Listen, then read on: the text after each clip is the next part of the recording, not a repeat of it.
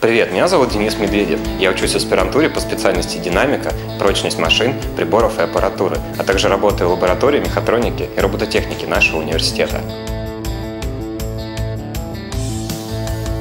Я люблю ЮСГУ за лучшие годы моей жизни, которые я провожу здесь и сейчас, а также за возможность всестороннего развития.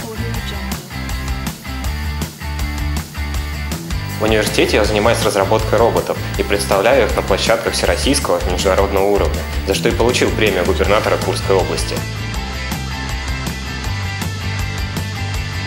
Надеюсь, в скором будущем я смогу создать робот, который станет полезным и доступным для каждого. Будь активным, ведь именно ты можешь стать следующим студентом недели.